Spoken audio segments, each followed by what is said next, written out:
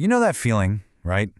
The sense that time is constantly flowing, pushing us from a past that's gone forever into a future that doesn't exist yet. It's maybe the most basic experience we have. But what if that feeling is completely wrong? What if it's all just an incredibly persistent illusion? Today, we're diving headfirst into one of the most profound and frankly unsettling ideas in all of physics, the block universe. All right, so let's just jump right in with the question that gets to the absolute heart of it all. Is the future already written? I know. It sounds like something out of a philosophy class or a sci-fi movie, but it's a question that modern physics, specifically Einstein's relativity, actually forces us to take very, very seriously. So to really get our heads around this giant idea, here's how we're going to tackle it. First up, we'll explore why we're even asking if time is an illusion in the first place. Then we'll define what exactly the block universe is. After that, we'll get into the really shocking stuff, the proof coming straight from Einstein. We'll also check out some rival theories, and finally, we'll wrestle with the big one. What does this all mean for free will in a cosmos that might already be finished? Okay, section one. Let's start with this fundamental conflict. Because really, this whole debate is a collision between two powerful ideas.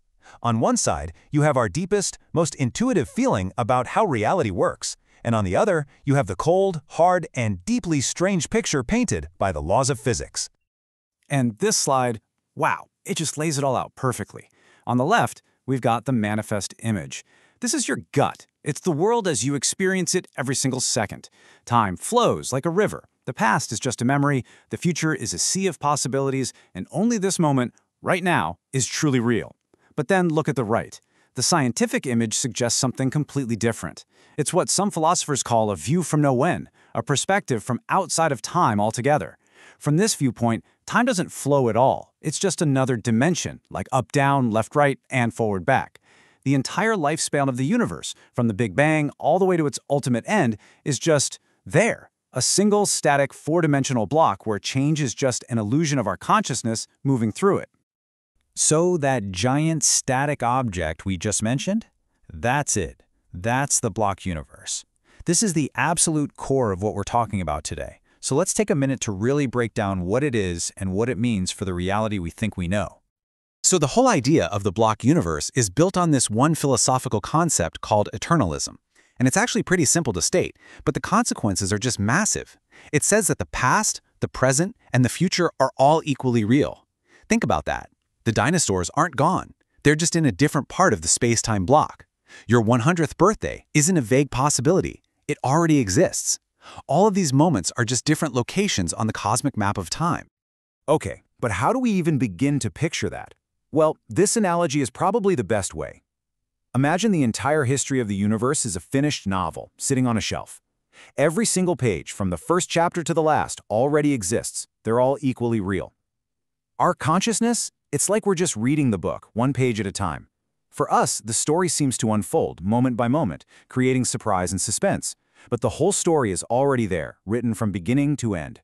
Our feeling of time passing is just the experience of turning the pages. And this gets to one of the weirdest parts of the whole theory. We all feel like now is special, right? Like it's the leading edge of reality. But in the block universe, now isn't special at all. It's just a label for your location in time, the same way the word here is a label for your location in space. If I say I'm here, it just means my position. If you, somewhere else, say you're here, you're also right. Well, now is the same thing. For Julius Caesar, his now was just his location in time. From the universe's perspective, his now is just as valid as our now. There's no single, privileged, universal moment of now. Now, at this point, you might be thinking, okay, this is just some weird philosophical puzzle, right? Well, no. The most powerful arguments for the block universe don't come from philosophers in armchairs. They come from Albert Einstein, whose theory of relativity didn't just tweak our understanding of time, it completely blew it to pieces. See, before Einstein, pretty much everyone, including Isaac Newton, thought of time as the single giant clock for the whole universe, ticking away at the same rate for everybody everywhere. Simple. But Einstein's special relativity showed that this is fundamentally wrong. One of its wildest conclusions is something called the relativity of simultaneity. All that means is that two people who are moving relative to each other will actually disagree on what's happening at the same time in distant places. Your now and my now are literally not the same slice of the universe. It's not a feeling, it's a physical fact.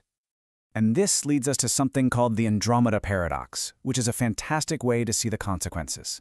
Let's walk through this, because it's wild. Okay, step one, you've got Alice standing still and Bob just walking past her. Simple enough.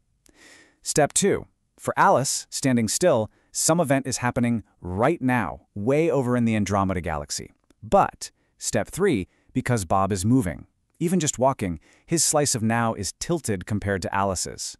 Across millions of light years, that tiny tilt makes a huge difference.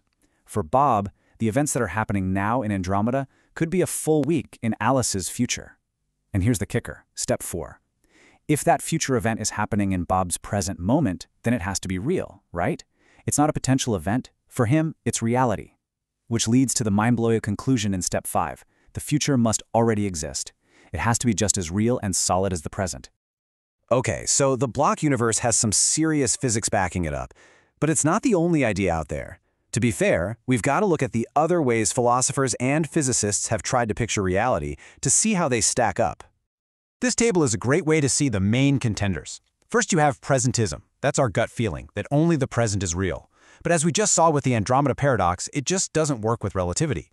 Whose present is the real one? Physics has no answer. Then there's the growing block, which is a sort of compromise. It says the past and present are real, and the future grows into existence. But that requires a special edge of reality, a universal now, which again, relativity says doesn't exist. The moving spotlight is another attempt.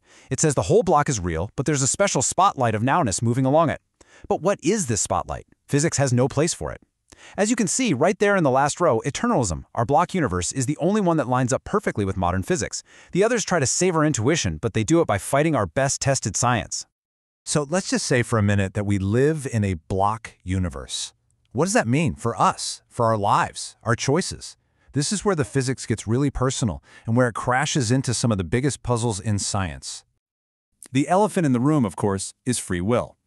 The incompatibilist view is pretty straightforward. If the future is already written, then free will is an illusion. Period. That feeling you have of choosing what to have for breakfast this morning wasn't a real choice between open options, it was always going to be cereal. But the compatibilists have a really interesting comeback. They say, hang on, let's redefine free will. For them, free will just means you get to act on your own desires without somebody else forcing you. So yes, your decision was always part of the block, but it was a part of the block caused by you, by your own thoughts and feelings. The chain of events was fixed, sure, but your brain was a crucial link in that chain. The outcome was set, but you were the one who set it. Now, just when you think you've got it figured out, here comes the biggest scientific wrench in the works. Our other great theory of physics, quantum mechanics, seems to say the exact opposite of relativity. It suggests that, at the most fundamental level, reality is all about probability and randomness. The future isn't fixed at all. So what gives?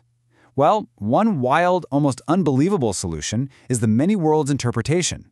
It suggests that every time a quantum event could go one way or another, the universe actually splits.